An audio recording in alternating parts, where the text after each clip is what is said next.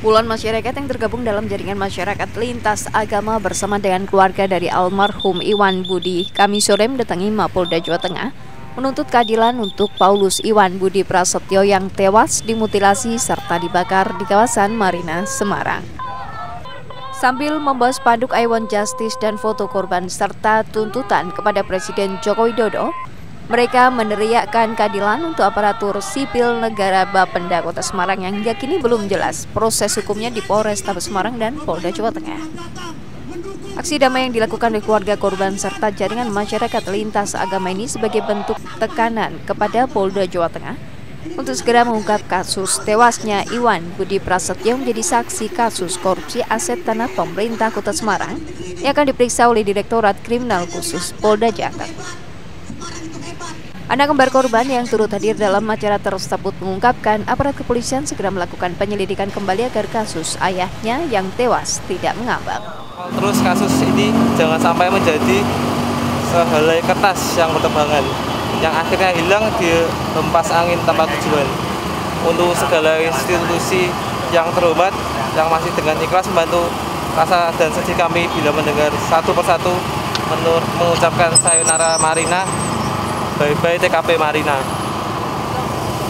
Merelakan kepergian yang kita cintai adalah suatu bagian yang harus kami lakukan. Tapi merelakan kasus ini memudar, tidak. Terima kasih untuk sahabat Iwan yang kembali menebalkan kasus ini dengan tinta keadilan dan tinta sisa kasih kembali menebal dan tidak Sementara itu Kapitumas Polda Jateng mengungkapkan kasus tewasnya aparatur sipil negara Bapenda Kota Semarang hingga kini masih terus dilakukan penyidikan dan mengembangkan dari keterangan-keterangan saksi yang sudah dilakukan.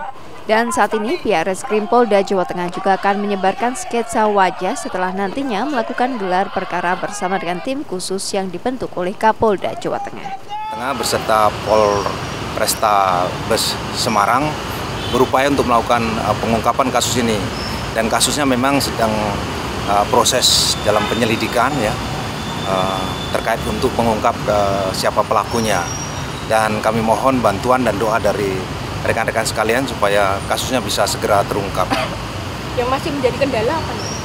Um, intinya penyidik masih berupaya untuk uh, mencari bukti-bukti supaya uh, kasusnya bisa terungkap. Sudah ada ini orang yang mungkin dicurigai seperti ini? Intinya masih dilakukan penyelidikan lah ya. Dalam demo ini, masa melakukan aksi teatrikal serta tabur bunga di depan Mapolda Jawa Tengah. Selanjutnya, anak korban juga menyerahkan tuntutan kepada Kapolda Jawa Tengah agar segera menyelesaikan kasus terbunuhnya Iwan Budi Prasetyo.